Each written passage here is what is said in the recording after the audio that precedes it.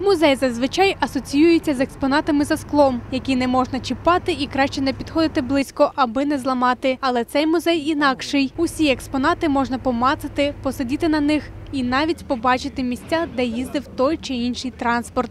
У нас э, всегда можно трогать, мы тактильные, э, у нас всегда можно, м, как говорится, увидеть что-то новое. Мы э, создали такой новый проект, он называется 3D Drive.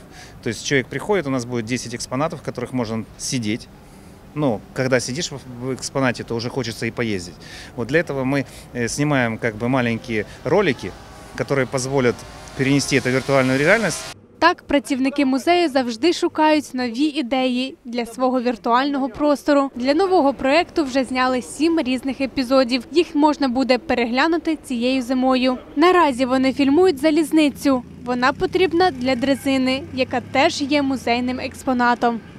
Будет рассказаны ее технические данные, э, безопасность, которую нужно соблюдать. И после этого э, машинист дрезины выезжает э, на середину завода. В середину завода приедет синий автобус с красной полосой. Ну, наверное, вы догадались, что это будет милиция. 15-суточников везем на работу на железную дорогу. Вот. Ну, взял я их из следственного изолятора, привез.